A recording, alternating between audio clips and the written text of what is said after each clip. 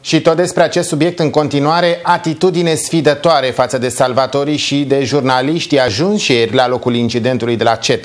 Târgujianul, care din cauza albinelor nu a mai putut să coboare de pe cea mai înaltă construcție din Târgu Jiu, s-a lăudat cu bravura sa pe Facebook – Tânărul a postat pe pagina sa de socializare fotografii și clipuri video chiar din timpul operațiunii de salvare, însoțite de comentarii ironice. Cu mai multe detalii despre acest subiect vine chiar acum colega mea, Alina Băcescu. Bun găsit, Alina! Bună seara, Costin, bună seara, doamnelor și domnilor!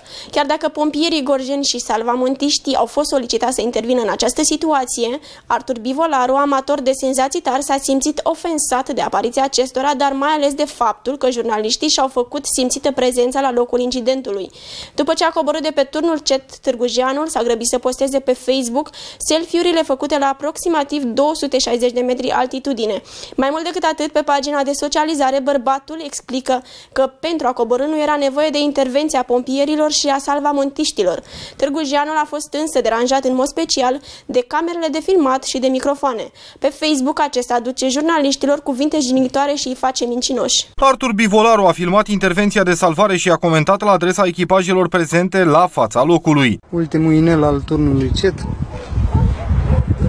Fanii mă așteaptă jos să cobor, eu nu pot de viespi, aici că să cobor cu macaraua lor, să coboare ei pe ea, poate îi mușcă pe ei când se urcă, satură. La final, amatorul de senzații tari a criticat de la înălțime până și imaginea orașului. Cam ăsta e Târgu Jiu vostru. Îl prins cu un ochi.